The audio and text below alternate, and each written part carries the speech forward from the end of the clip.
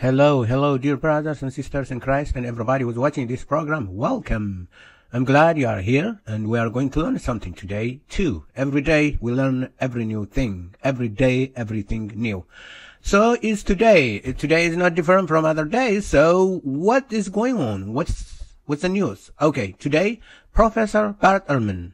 Professor Bart Ehrman is our topic and we are going to continue with uh, this topic. We are going to investigate his claims, his insight, his great wisdom, and miraculous, uh, uh, you know, uh, miraculous presentation of his amazing topic. We are going to deal. Already? Welcome again. All right.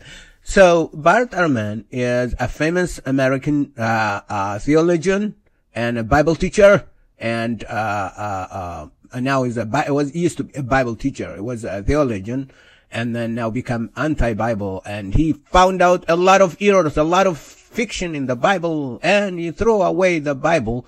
He says so, but, uh, the fact is, uh, there is something else. So who is Bart Ehrman? Who is Bart Ehrman? Let us go and see what his topic is.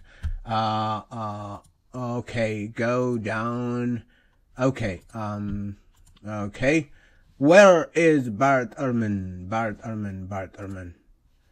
Bart Ehrman, Bart Ehrman. This is his uh, uh, uh, account. He's a professor. He's presenting in a very big meeting legends, fictions, and manuscripts that illustrate Christ's story. Legends, fictions, and that illustrate Christ's story. Uh, uh, uh, professor Bart Ehrman uh, yes, yes, yes, yes. He's going to present to us. Uh, before that, let me tell you uh, who Bart Ehrman is. Books by Bart Ehrman. Books by Bart Ehrman. Who he has the best books. Angels. The Bible really says about the angels, heavenly hosts. Okay? You have this uh, almost 1,000 five-star, almost five-star books. Books of Enoch. Books of Enoch. Wow. Enoch, Enoch, Enoch, Enoch. Heaven and Hell History. Bart Ehrman. Woo. Five star. Five star. Lost Christian, Christianity. Wow. Lost Christianity. Jesus interrupted, revealing the hidden contradiction in the Bible. oh, yeah, yeah. How Jesus became God. Oh, really? Um, misquoting Jesus. Uh, all right. Okay. Uh, the triumph of Christianity. Forbidden religion. Okay. Bart Ehrman. Bart Ehrman. Bart Ehrman. Lost the scriptures. Bart Ehrman. And, and uh, yeah. Did Jesus exist? Oh, Bart Ehrman. Wow. He's just debating. Oh yeah, yeah, yeah, yeah. Bart Ehrman, Bart Ehrman. He, uh, uh, he, uh, forged Bart Ehrman. Wow, this is Jesus? Can't you see how you put it? This Jesus? Wow, Bart Ehrman. Can we trust the Bible in the historical Jesus? Okay. After the New Testament, Bart Ehrman. Look, look, uh, when I was, uh, I, I, used to work for uh, uh a printing company and I used to print, uh, uh, manage, I mean, um, check the quality, the quality of books, like the, the printing books, and um, uh, do, uh, you know, check the pages. And uh, there, there are 18 major uh, quality checks. I used to uh, check them and then uh, bind them. This is who, who, this is Bart this is American. So I used to do, and then I used to print a lot of, and I used to read his books. now, the misquoting truth, you see, inverted. So this is Bart so you can see how famous he is in this in, uh, American uh, society. And let us see. Uh, and he was a Catholic. was a Catholic believer and then he went to the uh, evangelicals and became a minister and um, uh, became uh, a theologian and then he found out a lot of bible contradictions and then he left christianity the reason he left was as i as far as i know he is a hired saudi agent you got money, a lot money. This site is us.www.usislam.org. Uh, uh, US Islam, uh, this is uh, the site which they extensively use uh, Bart Ehrman uh, because he allowed them. the reason he's working against the Bible is money, money, money, money, money, money. And then he also make a, uh, in Amazon, he sells and he make a lot of money.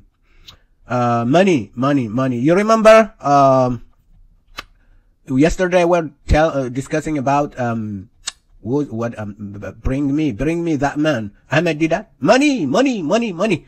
I can give you money. I can give you money. This is an Islamic website, but all, everything is Bart Ehrman. Bart Ehrman. This is Bart Ehrman, uh, conversion story. All this, uh, uh, Islamic site is, uh, full of Bart Ehrman. The reason is because he's a sold out, uh, uh, man. He's like Balaam. Balaam, you remember last time? In the book of, Exodus, chapter 20, 22, the one, the, the prophet, the false prophet Balaam he is like that. And let us go and do some investigation. First, uh, Bart means son of the earth. Son of the earth. Earth, you know, the son of the ground. Bart means what? Son of the ground. Herman means a famous man. Son of the ground, son of the earth, a great man. Son of the earth, a great man is the interpretation or the name behind the meaning of Bart Ehrman. If his name is just, uh, uh, just uh, his main name bothers you, remember this. Bart Ehrman means son of the ground, the earth, and a great man of great esteem, or a great man. Man of great name and son of the ground. And it goes, the reason is, um, uh, in Genesis, you remember, in corruption, and it came to pass when uh, men began to multiply on the face of the earth, and daughters were born unto them, that the sons of God saw the daughters of men that they were fair, and they took them wives, all which they choose. And the Lord said, My spirit shall not always strive with man, for that he also is flesh, he is a son of the ground, flesh. Yet his days shall be an hundred and twenty years. there were giants uh, the, the English translation, the King James, that is wrong translation. There were Nephilims in the earth in those days. That's the correct translation. Nephilim means the fallen ones, the fallen one. Also after that, when the sons of God came in unto the daughters of men, and they bare children to them, the same became mighty men. Mighty men which were of old men of renown, great name. The fallen one, but men of great name. Men of great name. People say angel, angel, angel. It's not angel. These are the fallen children. They were supposed to be in, this generation. You remember if you go back to one book, one, one book here, the generation of Adam, and then these were the righteous generation this Seth and Enos and uh, uh, Enoch worked with God and he was not found and all the righteous men, Mahalalel and Jared and, and Enoch worked with God. Enoch worked with God after he begot Methuselah 300 years and begot sons and daughters and God took him. These are from, from these men, from this generation, the fallen one came up. The fallen one came up. They, they departed from God and their destruction. So Bart Ehrman means son of the earth and of great, man of great name, great name. man of great esteem, esteem, esteem, self-esteem, something like that. Let's go to, now, to, uh, his argument and learn from, uh, legend. The legend and the legend, the legend in, uh, Bart Ehrman. Let's listen.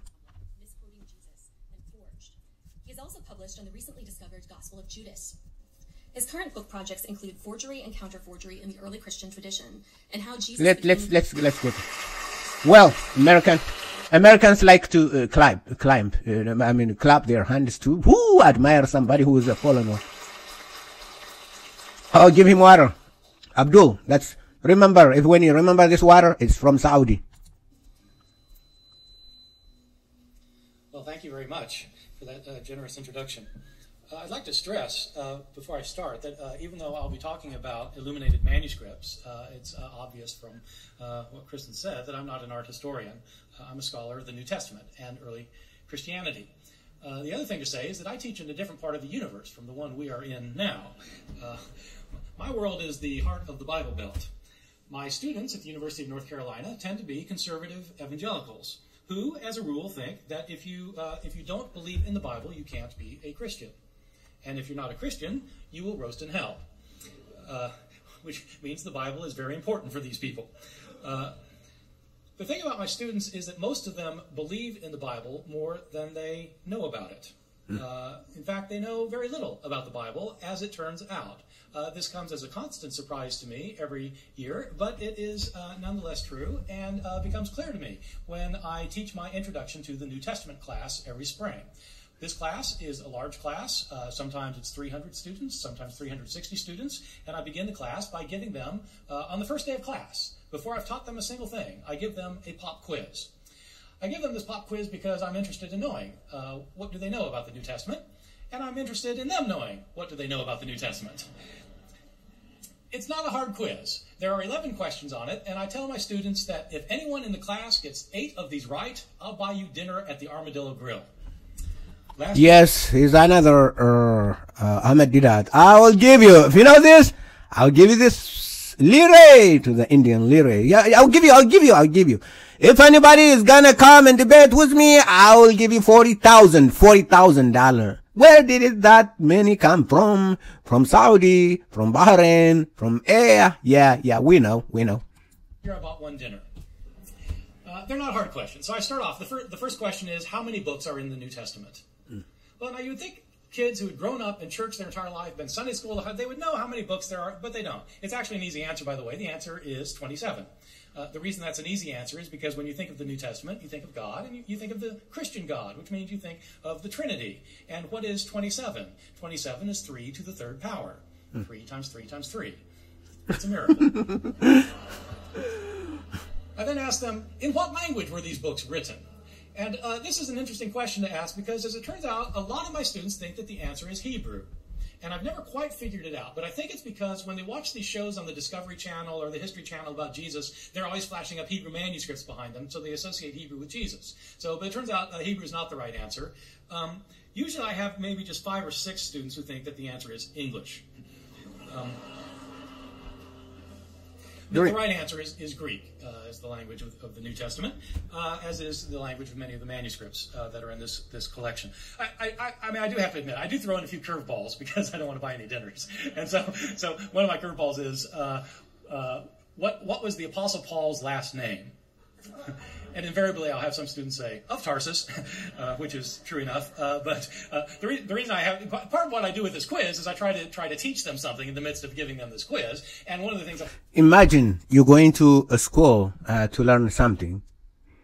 And then there is a teacher who, uh, you, you, you go there to learn. Yeah. You, you go there to learn. And this man is supposed to present you and to teach you, to guide you. What is his job? Ridiculing people uh, you know, making all kinds of bizarre, bizarre or, or, or ridiculous uh, things, asking ridiculous questions.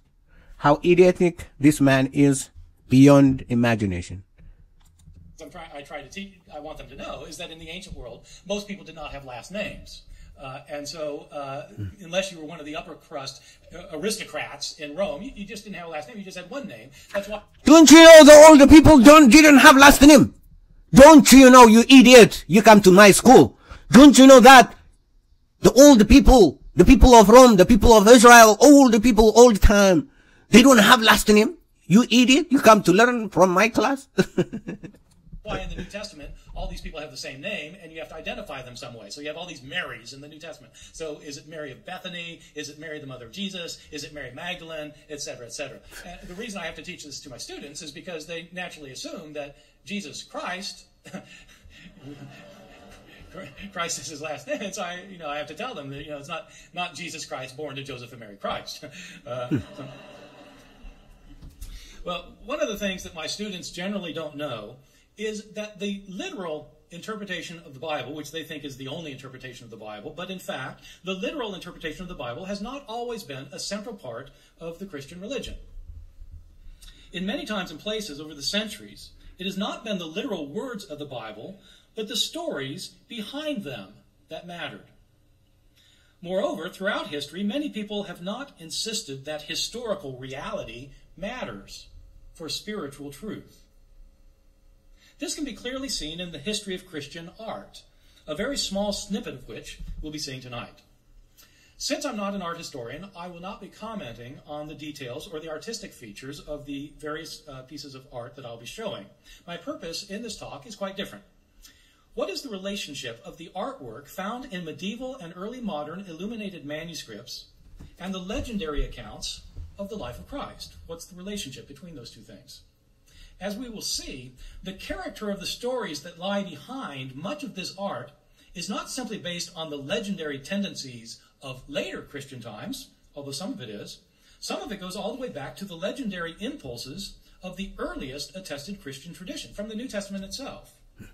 Artists throughout the Middle Ages, in any event, were not concerned with our modern interest in separating what we might call history from what we might call legend. The stories that they knew, uh, stories about Jesus, told important truths. And the historicity of these stories, in our modern sense, was not an issue for many people, most people, through the Middle Ages. I'm going to start with some art that illustrates stories that everyone today thinks were legendary. And then I'll move into artistic representations of New Testament accounts, in part to see how these stories about Jesus came into existence in an effort to fill in what was not known about the life of Jesus from the New Testament, and to illustrate what was believed to be known, even though this knowledge was legendary. That'll make sense by the time I'm done. So, I'm going to begin with uh, an artistic representation of what is known as the harrowing of hell. The harrowing of hell. This is a uh, this is a, a, uh, portrayal of the harrowing of hell in a 12th century Life of Christ uh, from England, which is in the holdings of the Getty Museum, but uh, but is, is the one piece uh, that I'm showing that is not actually in the exhibit that we will be seeing tonight. Now, in the exhibit that's, that's on display. So here's this is Jesus. As you can tell, Jesus has been crucified already. He's got the wounds.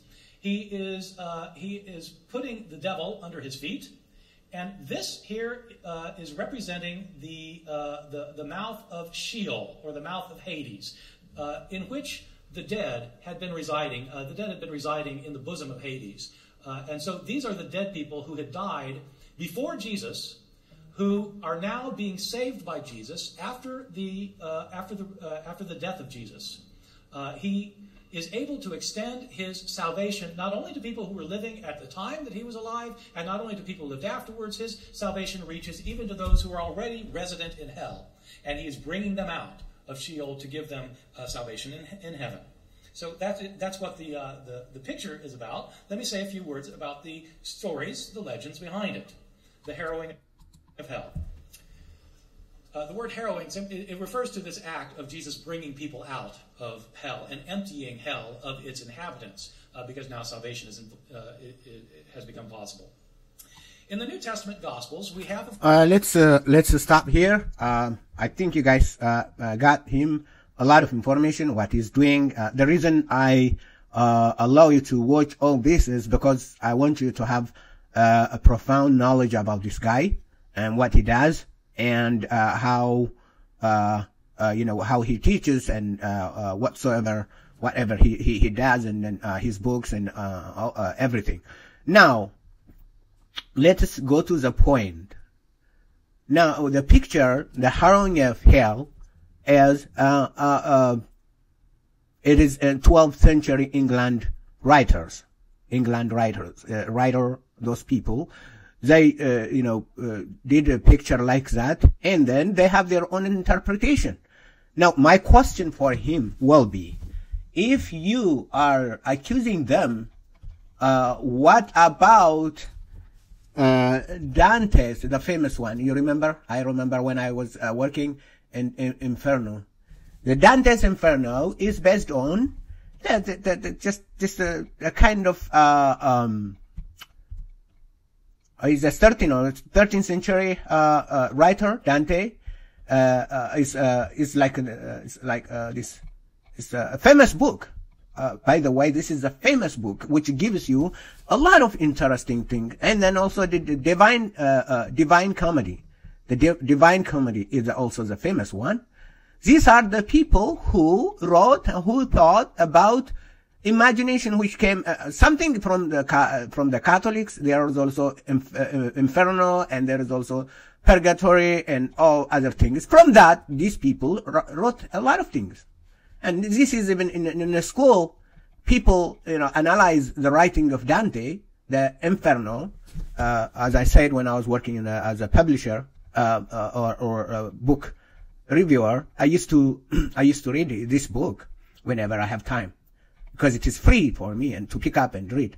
So this, there are other books like this, which were of spiritual nature, uh, about hell and about uh, reward and uh, about reward and punishment, all that, those things.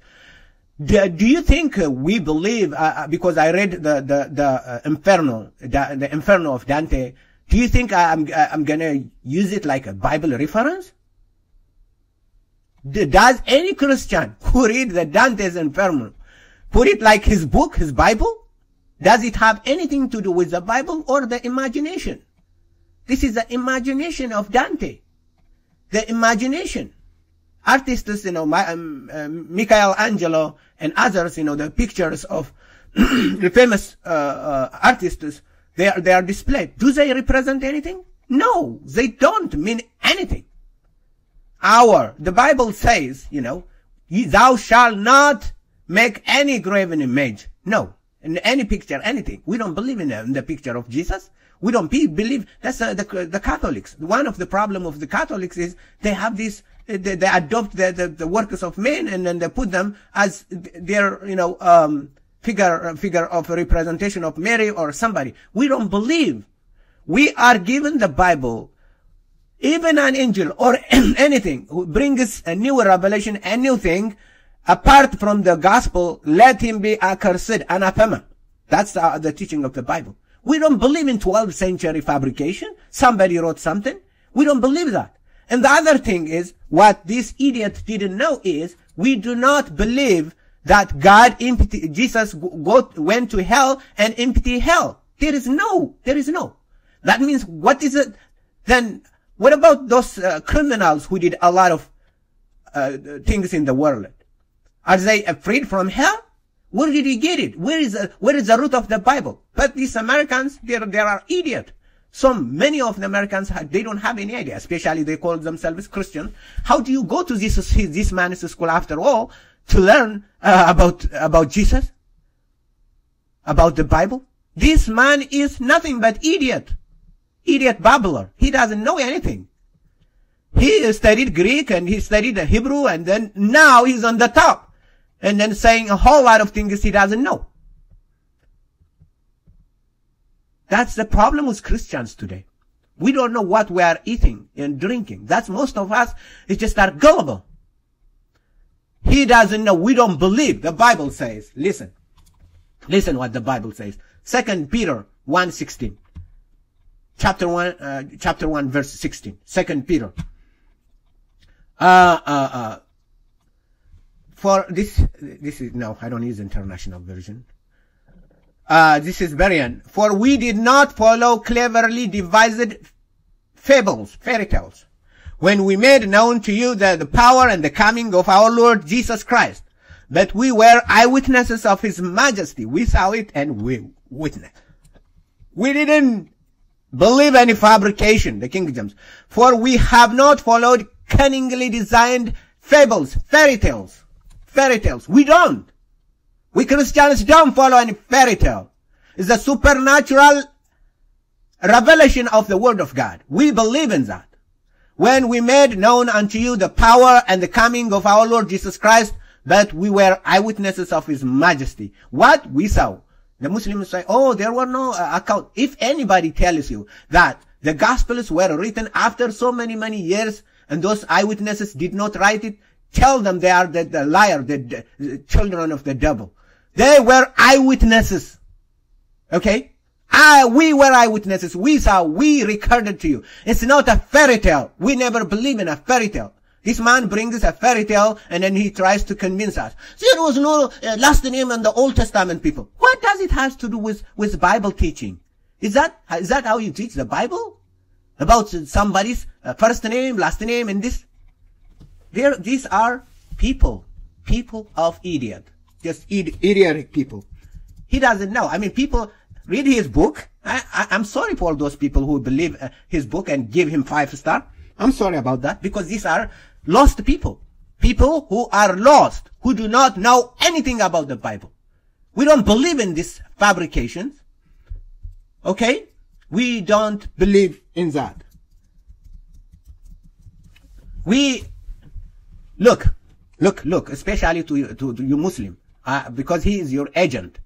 To your Muslim, that which was from the beginning, which we have heard, which we have seen with our eyes. Come on. How was it written? After many centuries, after many hundred years was written. Really? It, the Bible, the gospel is not a hadith. It's not the hadith, it's not the Muslim. They take the Muslims and they, they want to compare and contrast to the Muslims' right style of writing. No, no, sir, no.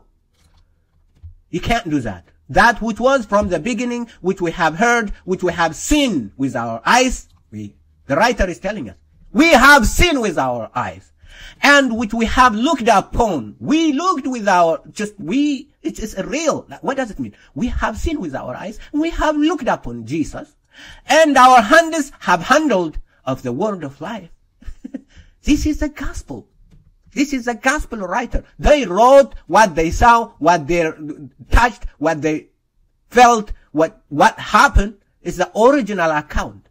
For the life was manifested, and we have seen it, and bear witness, and show unto, the, unto you that eternal life, which was with the Father, and manifested unto us. That which we have seen. Come on. We were eyewitnesses. Oh, 12th century. Idiot. What 12th century? This is a, the man of the earth. Man of the earth. His earthly man speaks about earthly things. This is, a, um, this is, these are the American scholars. These are the scholars. You know, he is the head of the scholars. But he is the, the most stupid, the most stupid person who knows nothing about the Bible, but babbles about anything. We never accept anything apart from the Bible. Even we don't trust the church history. We don't trust it. We trust the Bible. The Bible is our source of inspiration. That's what God asks us to read and to study day and night. When we sleep, when we wake up, when we do our job, God always asks us to read the Bible, meditate upon it. That is our work. Oh, legends, fictions in the hell, harrowing of them. He makes something out of nothing. He's idiot. That which we have seen and heard declared we unto you, that you also may have fellowship with us. And truly, our fellowship is with the Father and with, uh, uh, uh, with His Son, Jesus Christ. Yes, yes, yes, yes. This is what our belief. Our belief is original, authentic, and trustworthy. I don't trust this, this, this, these people who, who lies and deceives. Men of the earth and men of great name, they will be doomed. The Saudi money will not save them. This, huh? The Saudi money. This Saudi money will not save them when Christ comes. He will dash you into pieces. But you brothers and sisters, whoever want to learn the Bible, just pay attention to the Bible. Don't listen these murderers, these evil fabric fabricators. We don't believe in that. This is the most idiotic way of presentation. Uh, lies, full of lies and deception. It's not different from Muhammad. He's not. He's fabricating his own, um, you know, his own mind. He's bringing us his own imagination, evil imagination. An evil man and an evil heart and an evil idea out of the, you know, evil heart proceeds to his mouth and he pollutes people and kills people. This is a destroyer, the evil man. But the Lord Jesus is great. We don't follow cunningly designed fairy tales. We believe in the Lord God Almighty, in Jesus Christ, the Redeemer of mankind, who came and died for us. Yes, and redeemed us from the kingdom of darkness. Praise be to the name of our Lord and Savior. Praise to be God, to God who loved us and gave his son and to us so that he died on our behalf and paid for the price of our sins so that our redemption is complete in Christ Jesus. Amen. Thank you for watching and uh, listening. Uh, you can, if you have any question, comment, please feel free to leave uh, your message, your, your, your question. I'm ready here to answer. We'll continue debunking this evil man. We will not stop here. We have a lot to cover. May, uh, until we meet again, may the Lord richly bless you. Bye bye.